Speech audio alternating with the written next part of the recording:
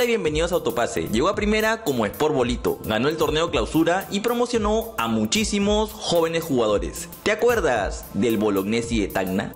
Antes de empezar, los invito a descargar OneFootball, la aplicación de fútbol con mayor cobertura a nivel mundial. Puedes personalizar tus preferencias y seguir a tu equipo o selección favorita. Por ejemplo, a nivel internacional, escojo el Real Madrid y automáticamente recibiré las últimas noticias, alineaciones, resultados, estadísticas y todo sobre el mercado de fichajes. También puedes saber cuándo y con quién juega tu selección y seguir a tu equipo local. En mi caso, escojo Alianza Lima, solo por dar un ejemplo. Además puedes realizar pronósticos y comentar en vivo con otros fanáticos. Descarga OneFootball desde App Store o Play Store. El enlace lo puedes encontrar aquí abajo en la descripción del video. Dicho esto, empezamos.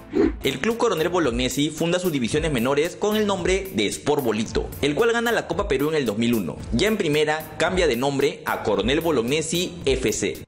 En el 2003 realiza una buena campaña de la mano de Roberto Mosquera y clasifica a su primer torneo internacional. Dos años después, ya con Jorge Sampaoli como entrenador, participa casi de manera consecutiva en tres sudamericanas. En su mejor presentación cayó eliminado en segunda ronda ante el Colo Colo de Arturo Vidal. En el 2007, con Juan Reynoso, tiene el mejor año en toda su historia. Después de un desastroso arranque de temporada, logra enderezar el rumbo y gana el torneo clausura. La San Martín fue campeón nacional debido a que los tagneños quedaron muy mal posicionados en el apertura, pero clasifica su primera Libertadores, en la que pasa sin mayor suceso. Después de este gran momento, el equipo entró en un bache. Cada vez habían menos refuerzos y básicamente era un equipo juvenil. Todo esto ocasionó que en el 2009 pierda la categoría. El Bolo se convirtió en un equipo que básicamente recibía jugadores prestados por otros equipos para darles una oportunidad. Algo similar a lo que hace la San Martín. De lejos su mejor jugador ha sido Johan Fano, quien con 50 goles es el máximo goleador en la historia del club. El Gavilán se hizo presente con un hat-trick en la mayor goleada del equipo tagneño, un contundente 7 a 1 ante el Deportivo Huanca.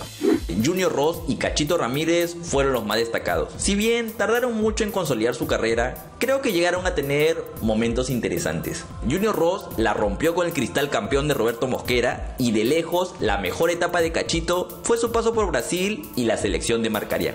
Menciones honrosas para Masakat Susawa, quien recibió su primera chance después de ser dejado de lado por Sporting Cristal, y Miguel Mosto, quien vino con el equipo desde la Copa Perú. También podríamos mencionar a Renzo Reboredo, quien tuvo un prometedor arranque después de no tener sitio en Sporting Cristal, aunque como ya es conocido su rendimiento dejó mucho que desear.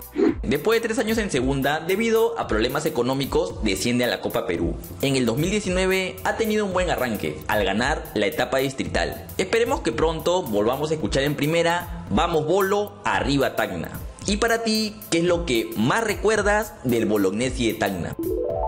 Y este video ya con 27 saludos pendientes. Como comprenderán, por temas de tiempo, solo saludaré a Fernando Centeno, quien es el que le debía mayor cantidad de saludos. Mil disculpas a todos y prometo mandar saludos de forma regular en los próximos videos. Y ahora sí, si deseas un saludo en el próximo video, solo déjalo en los comentarios. Si te gustó el video, regálame un like y activa la campanita. No olvides suscribirte, compartirlo y dejarme algún comentario. Bueno, eso sería todo. Nos vemos.